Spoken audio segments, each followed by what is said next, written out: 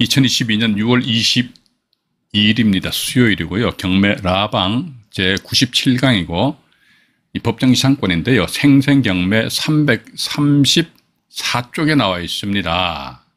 있는데 먼저 다 또 펼쳐야겠지요. 네.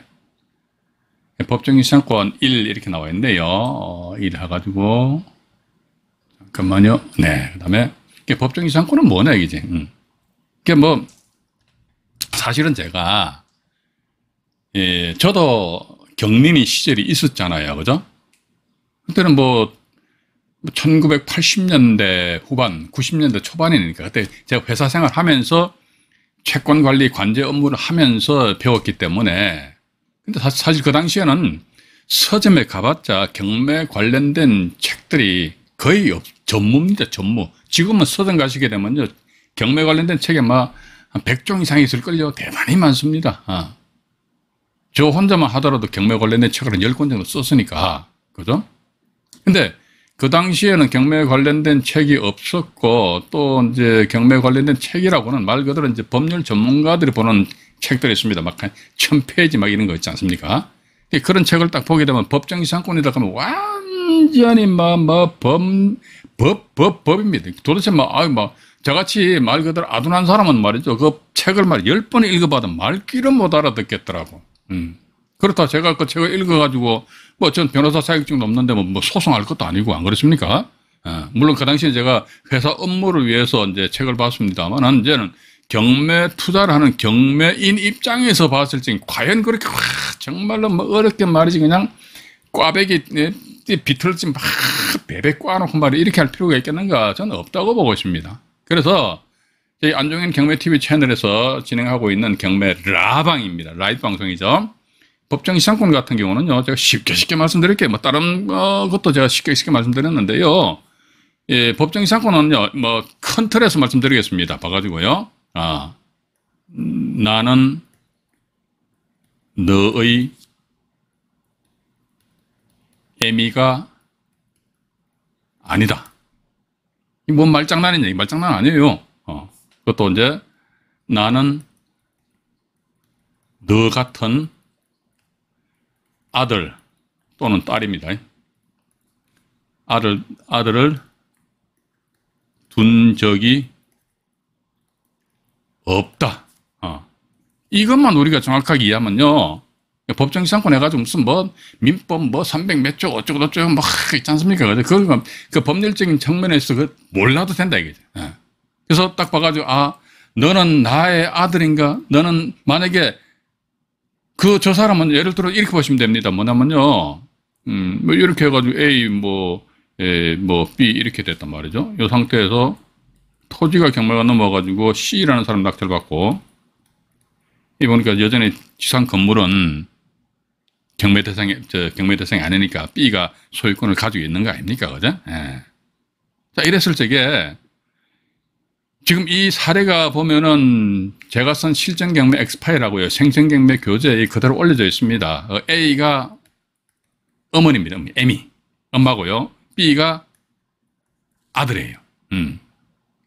자, 그런데 보니까 어머니, 엄마 땅이 경매가 넘어와 버렸어. 그래서 C라는 사람이 덜컥 낙찰을 받아버렸습니다. 이랬을 적에 이제 그전에는 B 입장에서 봐가지고요.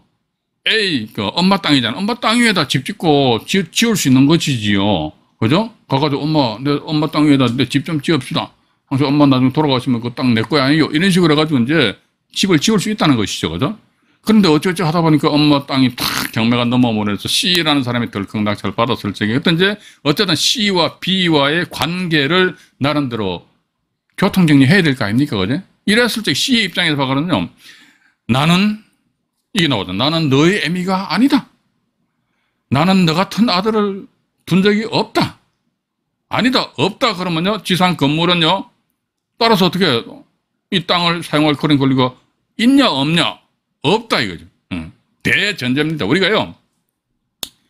법정 이상권 하니까 말이지요. 어, 무슨 뭐 저기 우리가 법정 이상권 이제 에, 뭐 성립 요건이 네 가지가 있어요. 있는데 에, 그것에 의해 가지고 법정 이상권이 예를 들어 가지고 뭐 성립이 된다. 어? 또는 법정 이상권이 성립이 안 된다. 어? 뭐 성립이 되면은 자 이러한 내용이 앞으로 우리가 법정 이상권 강의가 끝날 때까지 이렇게 계속해서 반복해서 말씀드리겠습니다. 음. 법정 이상권이 성립이 된다. 그러면은 땅값 지료를 받, 받을 권리, 권리가 있고 법정이상권이 성립 안 된다. 그러면 이게 건물 부사라. 철거죠. 예. 이게 법정이상권은 뭐냐? 그러니까 이렇게 보시면 돼요. 이 지상에 건물이 있는데 이 건물이 땅이 있잖아. 땅을 땅을 적법하게 사용할 그런 권리가 있느냐? 어? 권리가 있으면 법정이상권 성립되는 있, 있는 겁니다. 근데 법정이상권이 없어. 법정이상권은 없다 이거죠. 그러니까 법정이상권에는 권리를 그 건물 소유자가 가지지 못한다. 그럼 어떡한다더라. 이 건물은 뭐다. 이 토지상에서 존재를 해야 될 그런 내지 이유가 없잖아요. 그죠? 그럼 그에 따라서 어떻게 건물 철거해라. 아. 자, 근데 우리는 여기서 너무 경직되게 이런 사실관계를 바라봐서는 좀 문제가 있지 않느냐 하는 그런 생각을 가, 지게 됩니다. 아. 이래도 흥, 저래도 흥.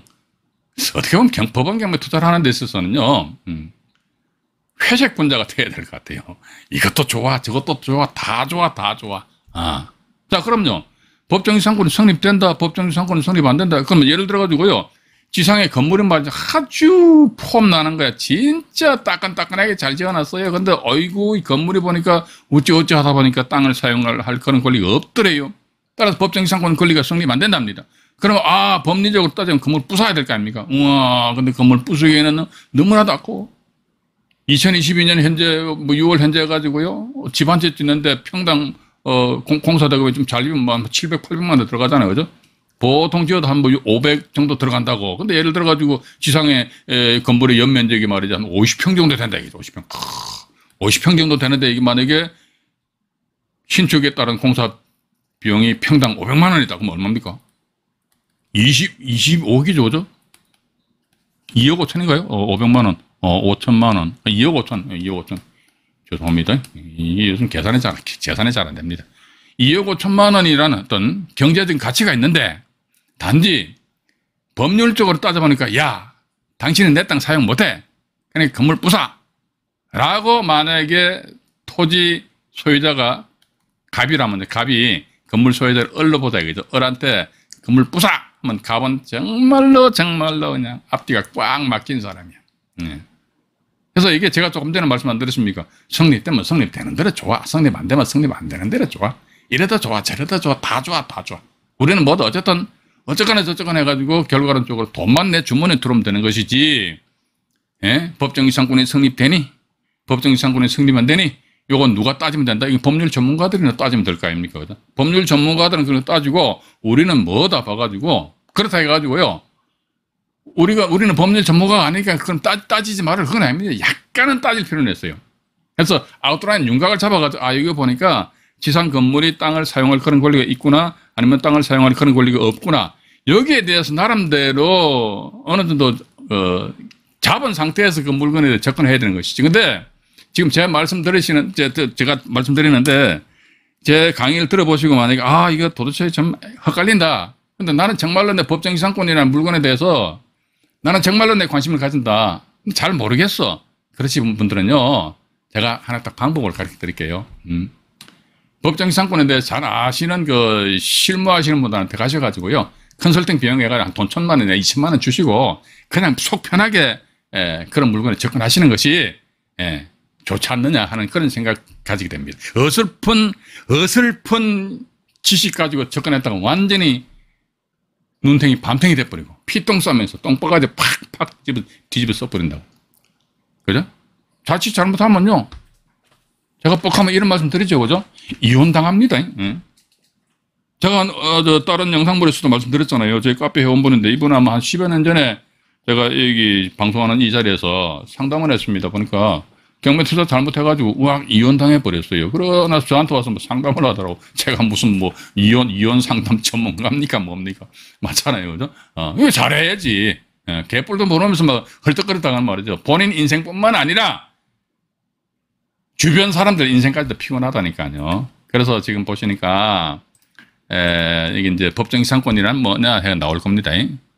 법정지상권이란 뭐냐 이거지. 우리 이것만 아시면 돼요. 뭐 무슨 뭐, 뭐 민법 300뭐몇 종가 법정은 저도 잘 몰라요. 제가. 아. 거기에 대해서 야 너는 강의하는 네가 왜 법정 모르냐. 그, 그 묻지도 따지지 마세요. 아, 그런 건 몰라도 돼요. 왜? 민법 300, 300조대 보면 이 그 법정 상권 관련된 조문이 있다. 정의 필요하다 그러면요. 아, 대법원 홈페이지 들어가가지고 민법 조문 저 찾으면 될, 될거 아닙니까? 그럼 말라고 하는 거 머릿속에 꽉꽉 집어넣으려는지 모르겠어. 그러니까 어느 아웃라인 잡아가 아 이게 있다 하더라. 요거 그 정도만 아시면 된다는 것이죠. 그죠? 그래서 법정 지상권이라는 지상 건물 소유자를 위한 권리래요. 어? 지상 건물 소유자를 위한 권리인데 어떤 일정한 요건이라는 게 있습니다. 이게 법정 지상권 성립 요건인데 네 가지가 있어요. 요거 지금 뭐 오늘 제가 말씀드리지 않으면 또 다음 시간에 말씀드릴지 모르겠습니다만은 일정 요건을 갖추게 되면 지상 건물 소유자는 타인입니다. 지 땅도 아니야. 지 땅도 아닌데 남의 땅을 말이지. 그것도 적법하게 사용할 수 있대요. 자, 근데 적법하게 사용할 수 있다. 근데 적법하게 사용하는데 이걸 공짜로 사용하면요. 그죠?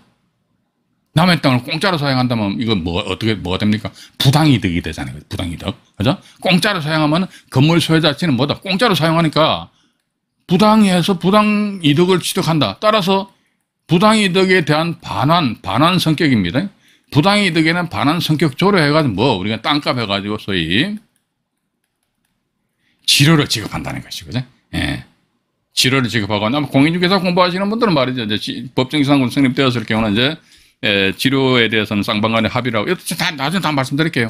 쌍방간 합의를 해야 되고 만약 합의가 이루어지지 않으면 재판상에 있어서 지료를 확정 지어야 된다. 그러고 나서 어, 지료는 뭐다? 어, 지상 건물 소유자가 토지 소유자한테 줘야 되거든요. 음. 줘야 되는데 지료를 2기 이상의 지료를 지체를 하게 되면 그때는 토지 소유자는 건물 소유자에게 법정 지상권에 말해서 통보를 하면 된다. 어. 그건 나중에 하는 거야, 나중에. 그래서 일단 그런 거 기본적으로 저, 자, 이것도 제가 나중에 에, 다 언- 언급을 해드릴게요. 자, 그러면 이제 다시 한 번 더 말씀드릴게요. 에, 이, 이런, 이런 식으로 될 수 있어요. 토지와 건물 소유자가 같았어요. 그러다 어쩌쩌다 보니까, 아, 어떻게 하다 보니까 토지만 경매가 넘어온 경우 있습니다. 아, 토지만 경매 넘어온다 말이지, 그지? 토지만 경매 넘어와가지고 이걸 B라는 사람이 토지를 낙찰받았어요. 그 지상에 보니까 예전에 건물은 A 거다. 이렇게 딱 나와 있습니다. 그 전 단계를 해가지고 이렇게 딱 넘어가면요. 토지가 A인데 여기 지상에 건물이 있는데 어, 이렇게 A야. 그러면 여기 이 건물 형태하고 이 건물 형태하고 틀리죠, 그죠? 음, 근데 뭐 여기 보니까 에, 토지만 경매 신청했다. 누가 경매 신청했느냐? 갑이라는 사람이 경매 신청했다. 그럼 여기 최초에 갑이라는 사람 말이죠. 땅하고 이 건물을 같이 공동 담보 잡은 거예요, 그죠? 예. 공동 담보 잡았는데 이 A라는 사람 말이지 이 건물을 확 부, 부, 부수고 그러면 뭡니까? 갑 입장에선 봐가지고 이 지상 건물에 갑이 저당권 설정했잖아요. 그죠? 저당권 설정했는데 저당권이 설정된 목적 부동산이 멸실돼 버렸어. 없어져 버렸어. 어. 그러면 그 순간부로 저당권 효력도 헐헐 날아가 버립니다. 저당 목적물이 없어져 버렸잖아요. 그죠? 예. 이 상태에서 A는 건물을 새로이 신축을 또 하였다 이거죠. 이 상태에서 보니까 갑 입장에서 열받잖아요. 그죠? 아, 내가 처음에 말이지, 땅하고 건물 같이 담보 잡았는데, A, A 저놈 시키고 말이지, 그냥 갑자기 건물을 부수더니 말이지, 응? 새로운 건물 신축했다, 이게. 그럼 이랬을 경우, 아, 여기, 여기 구건물, 여기 소위 이제 구건물이잖아요. 구건물, 그죠? 구건물인데, 구건물에 설정된 저당권이 있다. 이 저당권을 가지고 신축된 건물에 대해서 경매 신청할 수 있느냐? 이거 못 합니다, 이게. 예, 이 저당권 유용이 검- 금지랍니다. 저당권 유, 유용. 음. 저당권 유용에 금지 한자를 자꾸 써서 대단히 죄송합니다. 저는 이제 한자 세달을 좀 이해해 주시기 바랍니다. 예, 저당권 유용할 수 없어. 그렇기 때문에 갑은 말이지 억울하더라도 땅은 아, 저 멸실 안 됐잖아요. 그대로 있으니까 이 땅만 경매 신청하는 거예요. 땅만 경매 신청하니까 B라는 사람이 해서 그가 낙찰받는다. 여러분들은 말이죠. 이- 이런 식으로 사건이 전개됐다 했을 적에 이런 물건 같은 경우는요. 땅이 경매 났다고 다 받으면 돼요. 와가지고. 음. 그럼 이- 이 지상 건물은 뭐 땅을 사용할 그런 권리가 없어요. 어. 왜 없냐? 이건 이제 일정한 요건 네 가지가 있는데, 이거 제가 나중에 천천히 말씀드릴게요. 오늘은 어떻게 보면은 법정 시행권 첫 시간이고, 그냥 뭐, 에, 오리엔테이션인데 이렇게 생각하시면서 제가 잠깐 잠깐 말씀드릴게요. 그냥 여러분들 그냥 부담 갖지 마시고 그냥, 그냥, 그냥 들으세요. 예, 자. 자, 이런 상태에서 보니까 B 입장에서는 A한테, 어, 당신은 나, 어, 이 땅을 사용할 권리가, 권리가 없어. 그럼 따라서 어떻게 한다? 건물 부숴라. 건물 철거해라. 근데 실제 이거 건물 철거라는 것은 말로만 입으로만 건물 철거, 철거라고 나와지 그지? 실질적으로 확 가, 포크레인 가지고 막 부수겠다. 그건 말이 안 되잖아요. 몇 년 전에 뭐 이런 뉴스를 보신 분들도 계실 겁니다. 서울 서초구 쪽인가요? 예, 지상에 보니까 오피스텔 건물이 버젓이 올라와 있습니다. 오피스텔 건물이. 이렇게 오피스텔 건물이 또 올라와 있는데, 이 땅만 이 경매에 나와버렸어요. 이게 누가 땅을 낙찰 받아버렸어.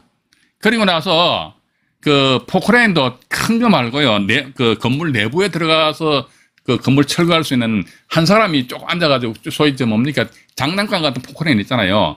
거기에 떼떼떼떼 하더니 이제 1층 로비로 들어가더니 부수는 거야. 뭘 부셔? 그러니까 우편함이 있죠. 우편함 거죠. 우편함을 막 떴더라고. 그리고 1층 바깥에 나와가지고 유리를 탁탁 건드려 버리더라고. 네. 그게 보니까 기자들 봐가 크 하더니 어, 막 뉴스를 내보내는데 사실은 어떻게 보면 이게 법정 이상권에는 권리가 성립되지 않기 때문에 B 입장에서는 포크라인 가지고 진짜 부순다고 부술 수가 없죠. 현실적으로 어떻게 부숩니까? 못 부수잖아요. 그죠? 그럼 나 부수는 척이라도 하는 것이죠. 그렇게 함으로 인해서 건물 소유자, 아, 건물 소유자들을 협상 테이블로 끄집어내면서 동시에 토지 소유자는 건물 소유자에 대해서 내가 갑질하려고. 그럼 뭐다? 결국은 포크레인 대동해서 건물을 부수는 척 하는, 완전히 부수면 안 되지. 부수는 척 하는 이유는 뭐냐니까. 이 사람이 자기 애한테 땅 팔아먹으려고 하는 거지. 답은 간단해요, 봐가지고. 예. 그렇기 때문에 법정 상권은 엄청 쉽다니까요, 봐가지고. 땅 팔아먹는 거 아닙니까? 지분 경매도 마찬가지잖아요, 그죠? 지분 낙찰 받아가지고 내 지분 낙찰 받은 거 상대방한테 팔아먹는 게 그것도 하나의 하나 방법이 되잖아요, 그죠? 어, 아니면 또 상대방 지분을 내가 대사든지 이것도 마찬가지입니다. 건물 부순다라고 해서 확 뭐 A한테 공갈 협박을 하는 거야. 아, 공갈은 아니지. 어, 공갈은 아니죠. 법 법대로 하니까. 어. 법대로 보면은 당신은 내땅 사용 못해 따라서 건물 부숴본다 이거지. 철거한다 그런데 뭐가 A가 아, 야 그럼 당신 땅 나한테 팔아. 그런 그 기미가 안 보여. 그럼 어떻게 한다더라 B는 A한테 야 당신 저 건물 나한테 넘겨 팔아. 이렇게 또 이게 지분경매랑 비슷해요. 예. 지분 사각과 지분 팔까 따라서 이게 이 법정 이상권 같은 경우는 제가 볼 적에는요, 예, 전국적으로 정말로 탁 건드려 가지고 될 만한 그런 물건도 제가, 제 관점에서 봤을 적에는 별로 없어요, 물건이. 지분 경매 같은 경우는 막, 말 그대로 수두룩뻑뻑해요. 그런데 법정 이상권은 별로 없더라고. 또 이따 하면 말이죠. 이게 제가 처음 경매 입문했던 1980년대 후반대만 하더라도 90년대도 마찬가지고요. 법정 이상권에 법자만 나와도 사람들이 고개도 안 쳐다봐서 돌려 고개를 휙 돌려버렸습니다. 목도시가 걸려버린다 말이에요. 왜 안 한다니까요. 어. 근데 저도 그 당시에도 아니, 안 해버렸어요. 어.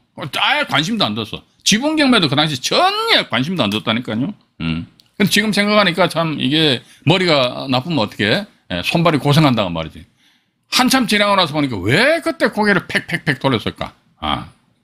고개를 돌릴 이유가 전혀 없으면 전부 다 돈이 되는 것인데. 맞잖아요. 그죠? 예. 그래서 일단은, 에, 그런 측면에 있어서 봐가지고요. 우리는 이제, 에, 법리적인 측면과 사실적인 측면이 우리 분명히 구분했어야 됩니다. 그런데 중요한 사실은 내가 어쨌든 지분 경매도 마찬가지고 이게 법정 이상권 관련된 물건도 마찬가지고 땅을 낙찰 받은 상태에서 건물 소유자 A라는 사람하고 어쨌든 협상을 해야 될 거 아닙니까? 협상의 연속이라니까요. 음. 그럼에 있어 가지고 내가 내가 A라는 사람하고 내가 협상을 하는데 B 입장에서 내가 내가 갑의 지위를 가져야 될 거 아닙니까? 그럼 내가 갑의 지위를 가지기 위해서는 법정 이상권이 뭔지. 예, 그럼 여기서 말이죠. 또 이런 게 있습니다. 남의 땅을 사용한단 말이죠. 그것도 적법하게 사용할 수 있는 방법이 여섯 가지가 있습니다. 이거 우리 다 알아야 됩니다. 예. 남의 땅을 적법하게 사용할 수 있는 그런 권리가 있다니까요. 첫 번째 뭐 보니까 첫 번째입니다. 아니 남의 땅을 어떻게 적법하게 사용하냐? 아 방, 방법이 있다네요. 첫 번째 뭐 이게 엄마 땅입니다. 이게 아들이 건물 지었습니다. 엄마 땅 위에다가 아들 건물 지었어요. 이거 적법하게 일단은 자기네들끼리 자기네들 자기네들 간에서 적법한 거예요, 그지? 근데 이게 여기서 어, 소유권 관계 막 또 뒤죽박죽 때문에 그때는 보통 이게 머리가 아파. 이거 하나가 있고요. 두 번째는 뭐냐 그러니까 법정 지상권이 있습니다. 세 번째는 뭐냐 이거 우리 이제 앞으로 이거 공부 다 할 겁니다. 예. 그러니까 법정 지상권 해가지고요. 내가 특히 어디 뭐 외부 이런 그 강의하시는 분들은요. 뭐 제 강의가 뭐 100% 어, 옳다 그건 아닙니다. 그런데 에, 제 말씀 들으시고 어, 제대로 된 어떤 지식을 전파를 해주시기 바랍니다. 대단히 건방진 말씀드렸습니다. 세 번째 뭐냐 이게 약정지상권입니다. 약정지상권. 아니 약정지상권이 뭐냐 이거지. 음. 그럼 여기 보면 법정지상권 그러니까 야, 법정 음.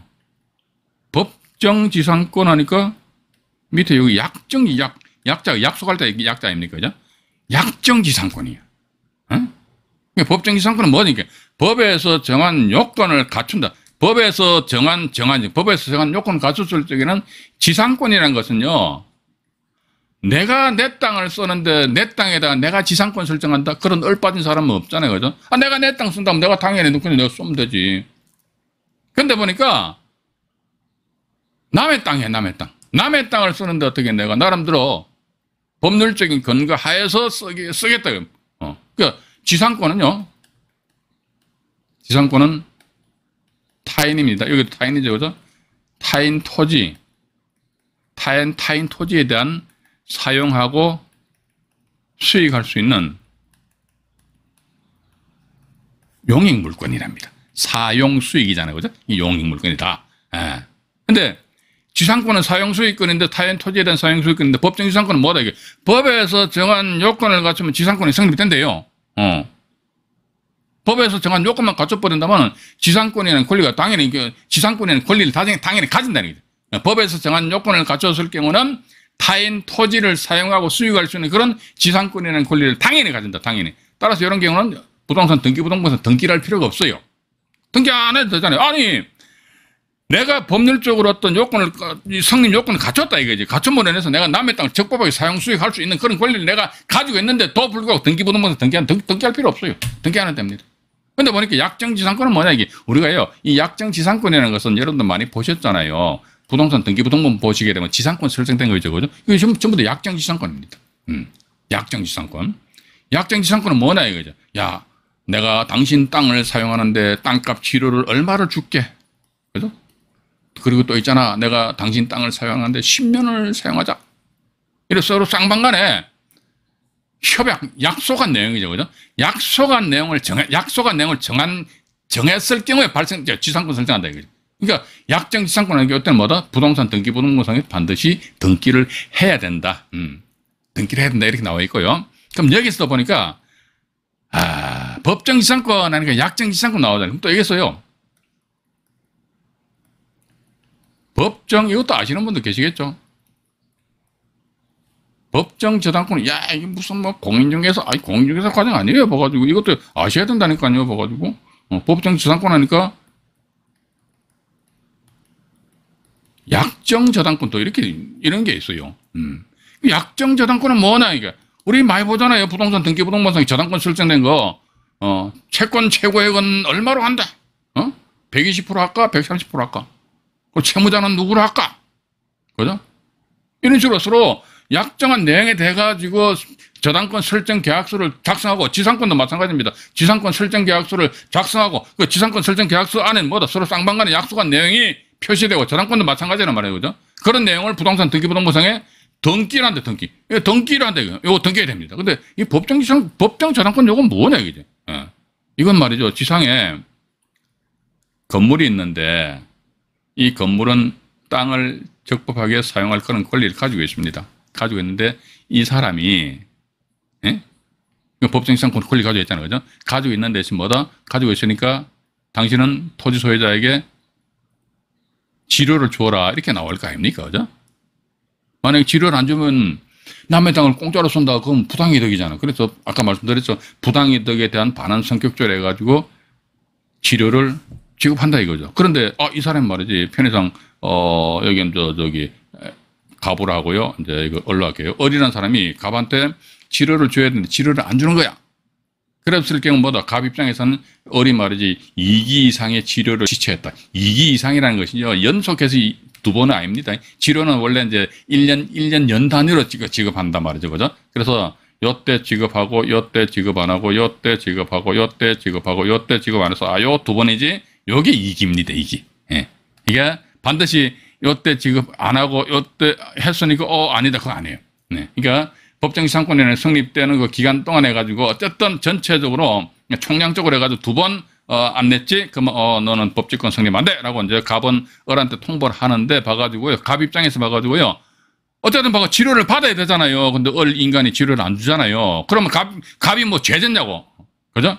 갑 입장에서 봐가지고 을도 자기가 그동안 받아야 될 치료를 나름대로 확보를 해야 된다. 이게 확보한다는 차원에서 가지고 갑은 말이죠. 을 명의의 부동산에 대해서 나름대로 압류 등기를 한다. 압류 등기. 압류 등기하면 이때 뭐다? 저당권이 저당권이 설정된 것으로 본다. 여기 민법 하, 법조문 지금 기억이 안 나요. 나중에 저기 이 관련돼서 에, 말씀드릴 때 법조문 딱착 찾아가 여러분들 보여드릴게요. 에. 압류 등기 한때 법 저당권이 설정된 것으로 본다 이렇게 나서 저당권이 설정된 것으로 본다니까.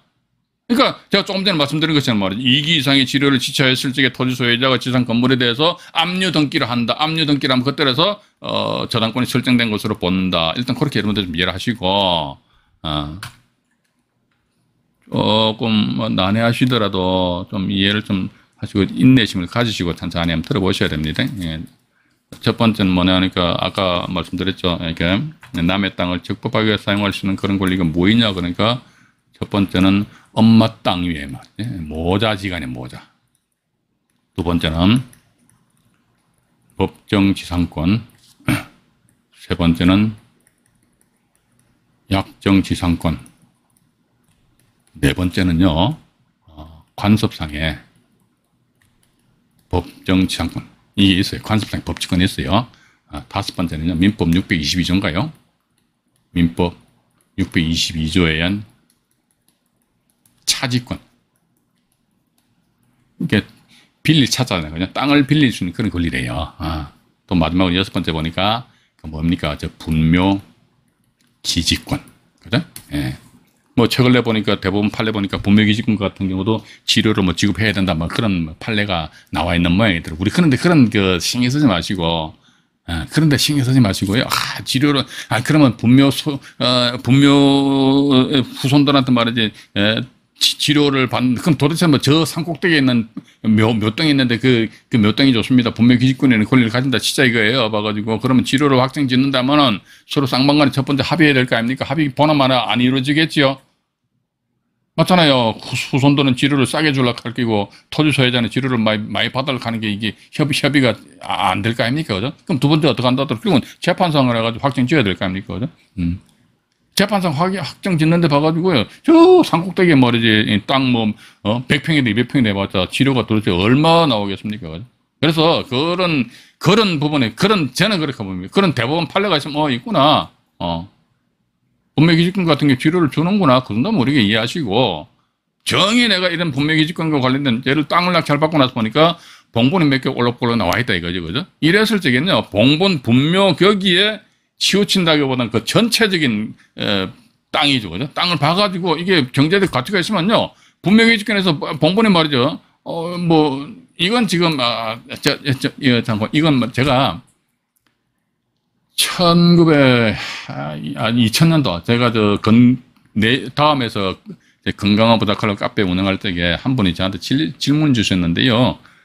어, 2006년도가 7년도가 저한테 질문 주시더라고요. 저쪽 밀양에 뭐 임야를 낙찰 받았는데 한 10만 평 정도 되는데 봉본이 몇 개 올록볼록 나와 있더래요. 이때 분묘기지권이 성립될까요? 안 될까요?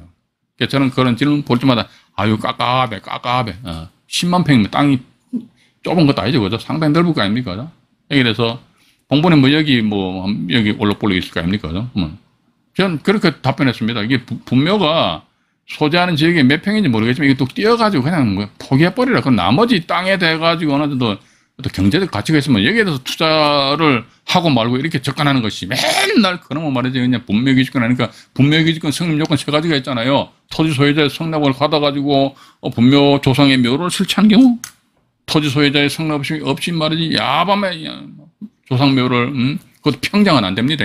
봉분해 가지고요 땅 위로 뭔가 올라와야 돼. 그러면 그게 이 분묘가 봉분이 올라와야 되면 그게 하나 공시하는 효력이 있어요. 예. 그러니까 평장해가지고 그냥 평평해. 그 다음에 밑에 시시만 딱 저 묻잖아. 이거는 저 이게 분묘의 기능 성립 안 된다. 이렇게 이런 게 이런 게 중요한 게 아니라니까요. 예. 어쨌든 봐가지고 토지 소유자의 성명을 받아가지고 뭐, 뭐 어떻게 한 게, 토지 소유자 성명 안, 안 받고 20년간 말이지, 예? 조상의 묘를 평온 공연하게! 아이고, 웃기는 소리가 앉아있네, 봐. 그런 건 법률 전문가들은 따지는 거라니까 우리는 따지는 거 안 된다니까. 세 번째 뭐다. 내 땅에 조상묘가 있는데 말이야. 내 땅을 팔면서 조상묘를 철거한다는 어, 그런 특약이 없어야 된다, 이게. 어.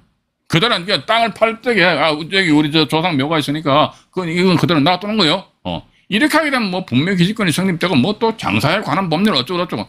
어 그런 것보다는 저는 그렇게 봅니다. 이거 딱 잘라가지고 요거 포기해버리고 나머지 요 땅에 대해서 나름대로 경제적 가치가 있는지 없는지 여기에 대해서 우리가 나름대로 어, 판단 내지 분석을 어, 하셔야 되지 않겠느냐 하는 그런 말씀을 드리면서.